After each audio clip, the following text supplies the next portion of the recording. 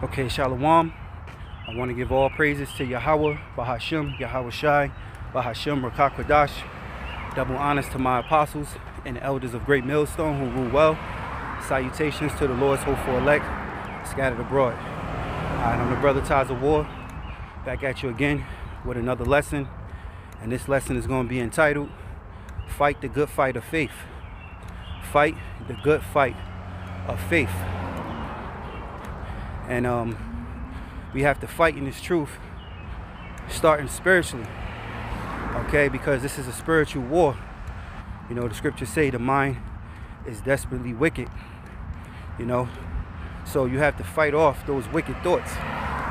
You have to fight also the temptation, okay, that Satan will tempt you to go against the Lord, law, statutes, and commandments. All right because we're rehearsers of the righteous acts. All right, even though we're not perfect, but we're striving to be perfect.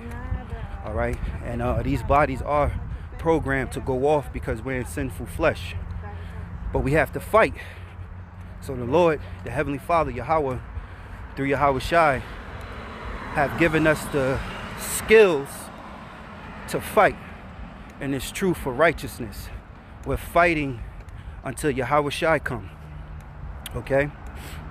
We're fighting until we're delivered. Scripture say, give diligence to make your calling and election sure. And um, a lot of the times when we're being afflicted, it's not joyous. You know, we joy in Yahweh BaHaSham Yahweh Shai, of course. All right, because that's the anchor, okay, that, that helps us fight through the through the sufferings. It increases our faith. But when we're going through it, it's not joyous, man. All right? Whether you have infirmity, dealing with body ailments, whether you're having financial issues, whether you know you're just being attacked, you know, from those who are close to you, you know, like your woman and things like that. You have to fight. You have to remain positive in this truth. Okay? And know that the Lord is going to make a way for you to escape. All right?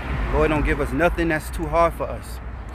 So, you know, I want to read the scripture here. Well, before I do that, let me go into this book, which is in the Apocrypha Sirach, also known as Ecclesiasticus, the second chapter. And I'm going to read a little fast through it because I want to get back to the little, couple precepts that I had lined up.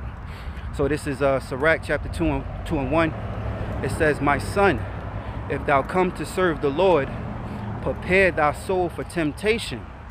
Set thy heart aright and constantly endure and make not haste in a time of trouble.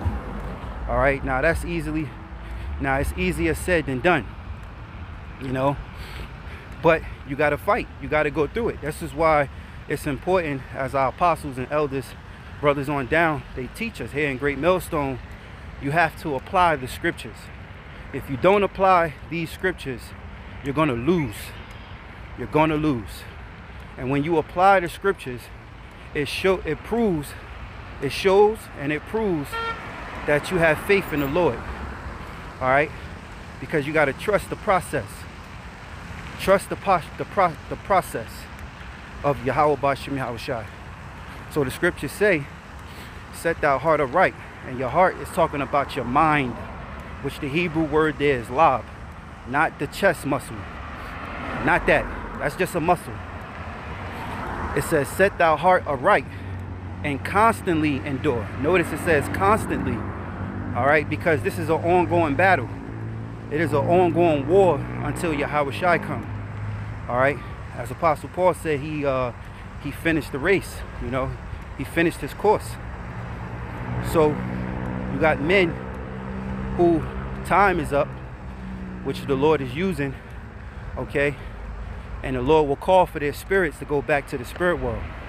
And if that happens, he's not going to lose his place in salvation. All right? Because the Lord said in what's that? First Timothy's uh, First Thessalonians, the fourth chapter. All right, where the Lord is going to deliver those who died in the Lord first and then those who still alive that remain they're going to be caught up together. So in this in this sinful flesh we in, and as our Apostle Paul also said, he's betwixt between the two, you know, because he would rather be with the Lord, which is paradise, you know, no pain, no misery, no suffering, you know, when you at rest, but it's needful to be in the flesh because you have to edify the Lord's elect so that they could be delivered.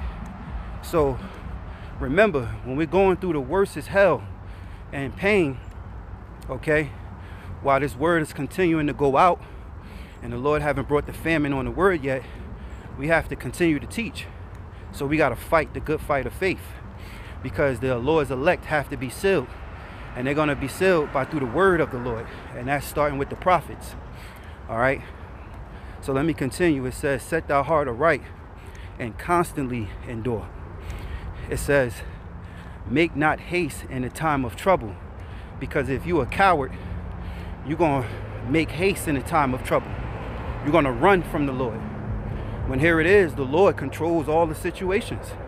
Every situation and everything that happened in our lives is because the Most High ordained it. All right. Sometimes when you're going through things, it's just a trial. It's just to see where your faith is at. Or some cases, the Lord is directing your path. He might want he might want your mind to be in a certain space, a certain thought process. All right. He might want to, you know, control, uh, turn your path, you know, straighten your path out to walk down a path that He want. So or just in fact you just suffering because you know we sinned we sinned in our past life and we sinned also in this life so it's a lot of things to think upon when you're being afflicted. And this is why we have to be thankful and uh and asking the lord for mercy. And also strength. We need strength to get through these tough times. We need strength to get through this fight of faith. Without it, we, we, we will lose. All right, so verse 3 it says, Cleave unto him and depart not away, that thou mayest be increased at thy last end. Whatsoever is brought upon thee, take cheerfully, and be patient when thou art changed to a low estate. Because being in the Lord, you're not going to be a rich man. Not saying that a rich man can't believe in the Lord and will change his ways and repent but the scriptures say it's hardly for a rich man to enter into the kingdom. Because everyone that serves the Lord is going to be is going to be all right afflicted and more on the poor side, man. You know, uh, as Solomon said, give me food convenient for me. He said, least I be rich and forsake the Lord, least I'll be poor and still. Okay? So we're going to be content, you know, with what we have. And that's just being a regular man. And when we say poor, it doesn't mean that we're going to be bums. All right. Scriptures say, when have the righteous been forsaken and begging bread? When we say poor, all right, there's really only uh, two classes. All right. You have the rich or the poor. All right. Really, middle class, you know, is considered poor when it comes to the rich. And uh, the scripture, James 2 and 5 says, Hearken, my beloved brethren, have not the Most High chosen the poor of this world rich in faith and heirs of the kingdom which he have promised to them that love him. All right. So when we say poor, it's not talking about being bums, you know, and on the street corner, not having a home, you know, not having uh financial uh, uh necessity things that we need. All right. The Lord said, whenever the righteous been forsaken and begging bread. So it says, Whatsoever is brought upon thee, take cheerfully, and be patient when thou art changed to a low estate. And at the very end, especially uh, the end of this society, okay, when Jacob's trouble come, we're going to be brought low before we're brought high. All right? So we have to so, so in a way, in the, all right, so in a way, and what the Lord uh, does in certain cases, in most of the cases, you know, it's a way that man can't understand. All right, because the Lord deals with the underdog. So it's it's a method within what you would call the madness. All right, as that saying go, the method within the madness. All right, we have to lose to win. Okay, we have to lose of this world to win eternity, man. To win Yahweh BaHaSham Yahweh Shai. Okay? So that's why the Lord said, He that uh, loseth his life for my sake shall find it. He that findeth his life shall lose it. Roughly paraphrasing. So let's continue. It says, verse 5 For gold is tried in the fire, and acceptable men in the furnace of adversity. Believe in him, and he will help thee. Order thy way aright, and trust in him. So, gold, you know, we want to be as gold. So, the Lord is going to try his gold, all right, through the fire. And it says, acceptable men, key word, acceptable men in the furnace of adversity, because these are the elect. It says, believe in him, and he will help thee. Order thy way aright, and trust in him. You know, key word in is trust in him. We have to trust in the process of the Lord. Okay? Even when we're going through hell. It says, Ye that fear the Lord, wait for his mercy, and go not aside, lest you fall. Ye that fear the Lord, believe in him, believe him, and your reward shall not fail. It says, Ye that fear the Lord, hope for good and for everlasting joy and mercy. Look at the generations of old and see, did ever any trust in the Lord and was confounded? Or did any abide in his fear and was forsaken? Or whom did he ever despise that called upon him? So, where did the Lord despise those that called upon him? The scriptures say the name of the Lord is a strong tower, and the righteous runneth into it and are safe. Okay? The scriptures also say the elect shall call upon his holy name. So whenever was the righteous despised and the Lord forsook them? It says, verse 11, For the Lord is full of compassion, compassion and mercy, long suffering and very pitiful, and forgiveth sins and saveth in the time of affliction. So that's why, you know, we have to work out our own salvation with fear and trembling so that we give Yahawashi, you know, something to work with when it's when it's uh, dealing with us in this sinful flesh you know? So that the lord could pray for us to the to the father all right? So yahweh could pray to us to the father and he showed compassion mercy long suffering and very pitiful and forgiveth our sins man. And it says saveth in the time of affliction all right? So when we're being afflicted our works will shine all right upon the lord's mind it will shine in his heart and his mind to know the good we have done and what we strive for. So at our very end, the Lord will show compassion, mercy, long suffering. All right, very pitiful. Uh, forgiveth our sins, saveth in the time of our affliction, man. Okay, verse 12. Woe to the uh, fearful hearts and faint hands and faint hands and the sinner that goeth two ways. All right, and you can read the rest. You know, you know, we're very familiar with this chapter, brothers that been in the truth for a while. You know, it's a it's a go-to for the very beginning.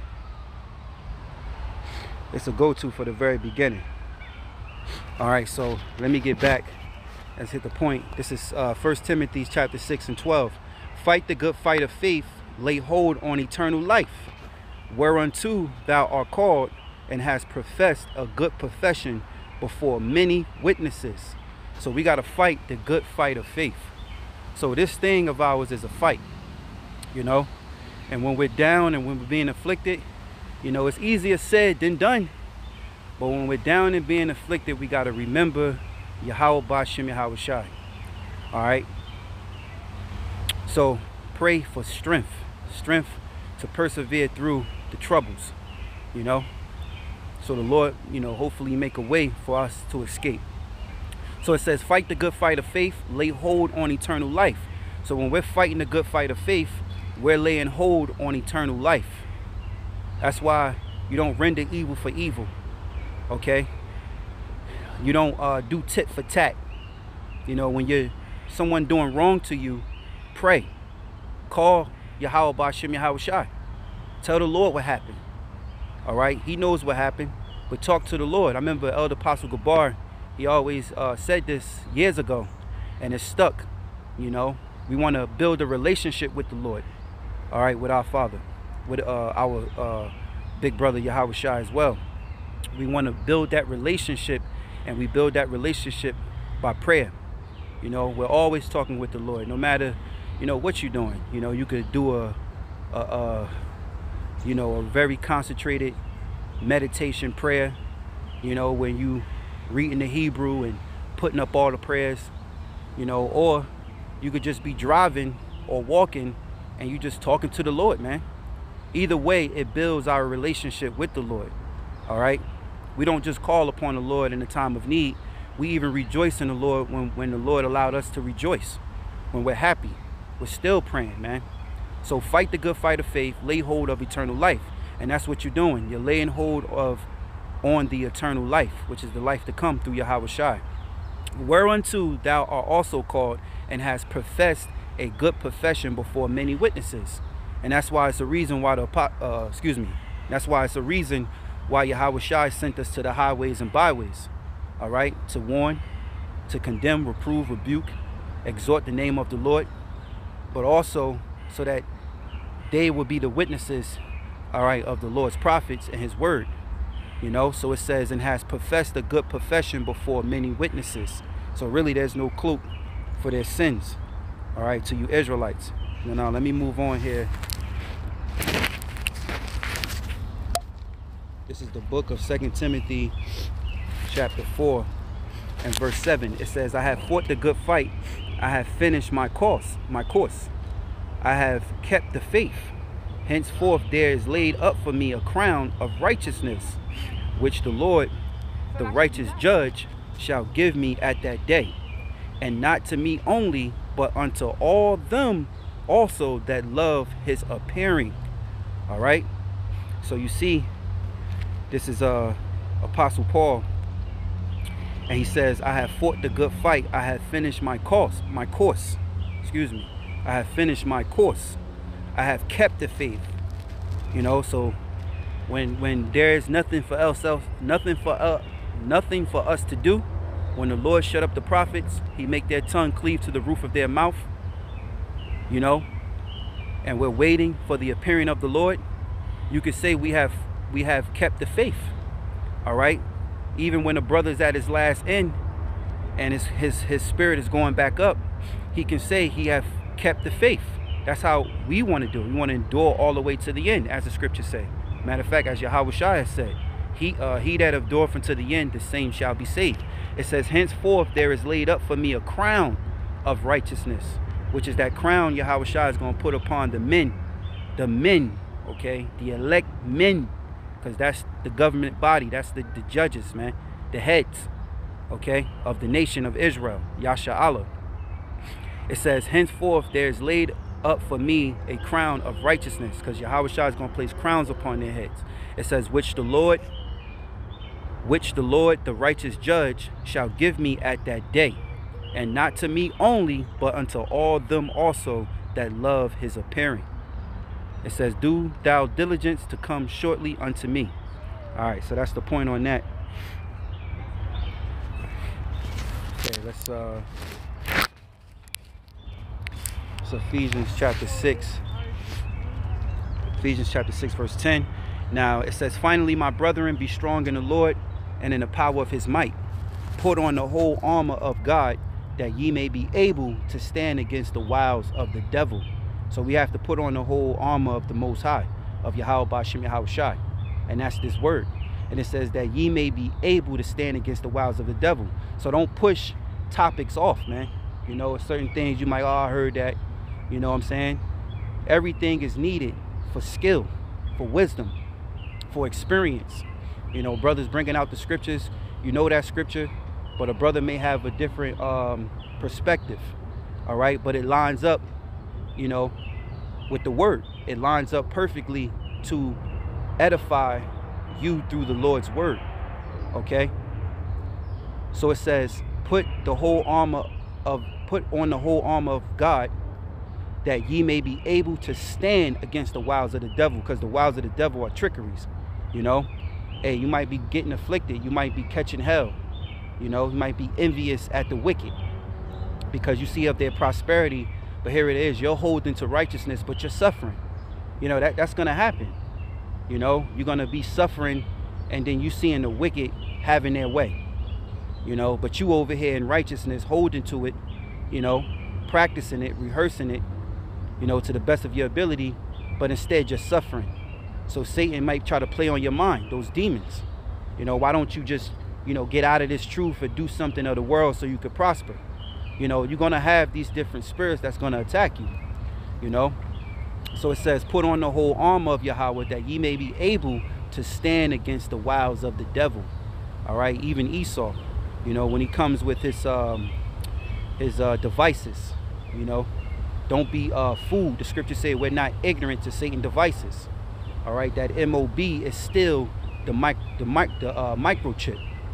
All right, I wanted to do a lesson, but you know, according to YouTube, we can't talk about the Crown Royal.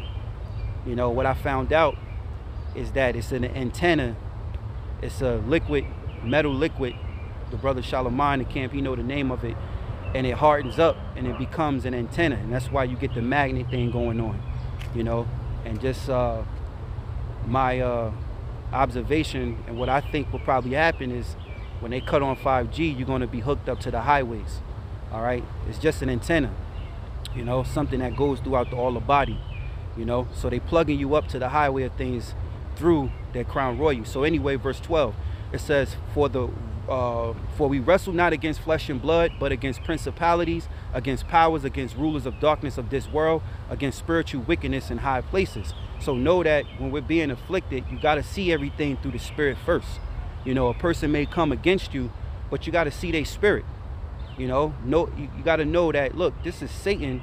This is this is uh, Satan using this host to bother you. You know, and when you know that, it ease your anger, man, because you know this is BaHaSham Yahweh Shah is doing. You know, this is Satan then attacking me because why? you walking with the light. You know, you walking with the light. So you're to be attacked by the dark. All right. It says, For we wrestle not against flesh and blood. So this is not a carnal war. It's not carnal war. It's to get carnal when Yahawashi crack those clouds. Okay. It says, But against principalities, against powers, against the rulers of darkness of this world, against spiritual wickedness in high places. And we know who rule in this world, and that's Satan all right, with his counterpart Esau Edom, these international bankers, these elites, okay? It says, verse 13, Wherefore take unto you the whole armor of the Most High, that ye may be able to stand against the wild, that ye may be able to, to, to withstand in the evil day. Let me read that again.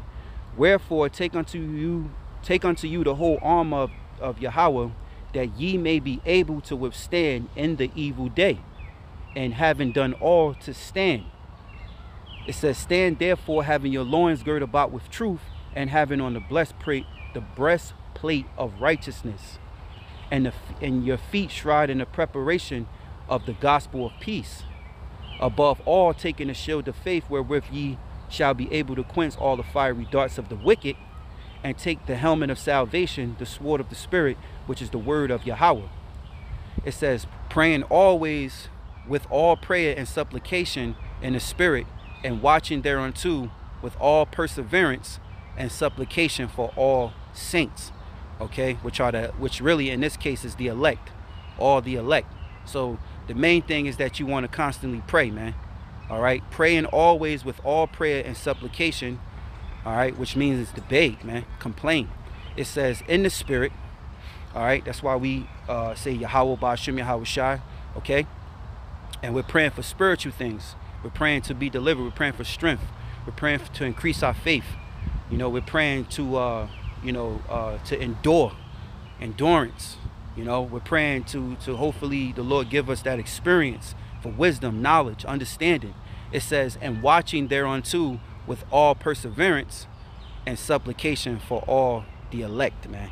All right, so now let's move on, and I'm gonna try to hurry up. This is uh, James chapter 4, verse 7. It says, Submit yourselves therefore to the Most High, resist the devil, and he will flee from you. You know, so when you being plagued in the mind and them demons are plaguing you and tempting you, you got to resist the devil. You got to resist him.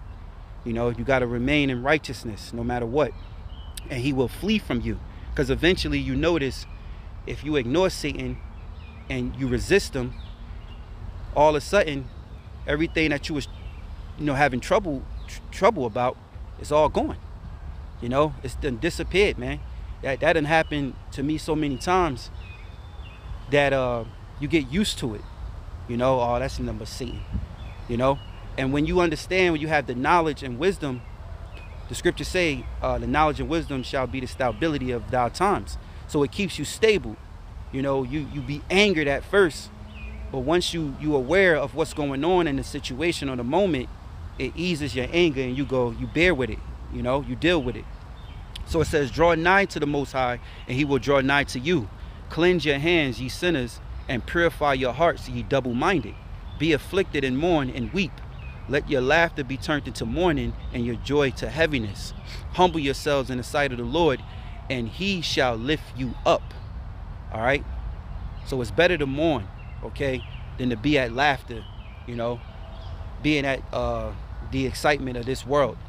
It's better to be in mourning because really this is a period that the Lord set a time for us to mourn.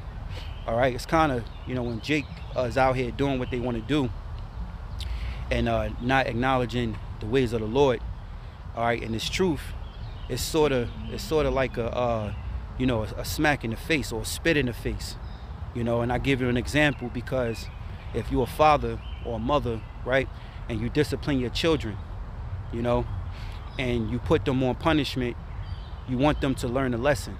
You want them to be remorseful. You want them to be sorrowful, you know, and ask for forgiveness for what they've done is wrong. But here they are, you know, he uh having fun while he's on punishment, playing the game, doing whatever he doing, and it's like he never learned his lesson. So two thirds, you know, anger the most high, man. You know, by the by their ways. They they will not acknowledge the ways of the Lord. They will not turn from their wickedness. So they, they the Lord numbered them to the sword. You know, just think about if you're a parent and you got a, ch- a child and you're punishing them for the wrong that they done, but instead they uh they're not being punished. You put them in the punishment, but the punishment is not making them reflect on what the wrong they did. You know, so it's like kind of like a, a smack in the face or a spit in the face, to sort of say. You know, they're not learning their lesson. So be afflicted and mourn and weep. Let your laughter be turned to mourning and your joy to heaviness. I don't mean you walk around here moping and mourning all day, every day. All right. It's just a balance. You know, you would rather be in a mourning state than be in a joyous state, living in the follies of this world, man. So to say, you know, because you can't have both. Okay. Now, the scriptures say, um, use the world, but don't abuse the world. So, verse 10 Humble yourselves in the sight of the Lord, and he shall lift you up. All right, so this is my last scripture here. Oh, matter of fact, no, it's not. This is uh, Romans 8. This is Romans 8 and 31. It says, What shall we say then to these things? If the Most High be for us, who can be against us? He that spared not his own son, but delivered him up for us all, how shall he not with him also freely give us all things? Who shall lay anything to the charge of the Most High's elect? It is the Most High that justifieth. Who is he that condemneth? It is Yahawashi HaMashiach that died, yea, rather, that is risen again, who is even at the right hand of Yahweh, who also maketh intercession for us. Who shall separate us from the love of Hamashiach Yahawashi? Shall tribulation or distress or persecution or famine or famine or nakedness or peril or sword? As it is written, For thy sake we are killed all the day long. We are counted as sheep for the slaughter. Nay, in all things we are more than conquerors through him that love us. It says, For I am persuaded that neither death, nor life, nor angel, nor principalities, nor powers, nor things present, nor things to come, nor height, nor depth, nor any other creature should be able to separate us from the love of Yahweh, which is in Hamashiach Yahawashi, our Lord. All right. This is in the book. It's my last one here. Isaiah. Isaiah 41 and verse 10. It says, Fear thou not, for I am with thee. Be not dismayed, for I am thy power. I will strengthen thee. Yea, I will help thee. Yea, I will uphold thee with the right hand of my righteousness. All right, and that's Yahweh BaHaSham Yahawashi. Because remember, no matter what it is that we're going through, the Lord is going to strengthen us. So he says, Fear thou not, I am with thee. Be not dismayed, for I am thy power.